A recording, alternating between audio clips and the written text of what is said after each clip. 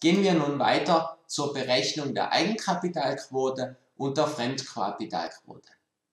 Wenn Sie wieder zuerst einmal selbst probieren möchten, dann einfach hier wieder auf Pause drücken. Gehen wir weiter zur Auflösung. Starten wir mit der Eigenkapitalquote.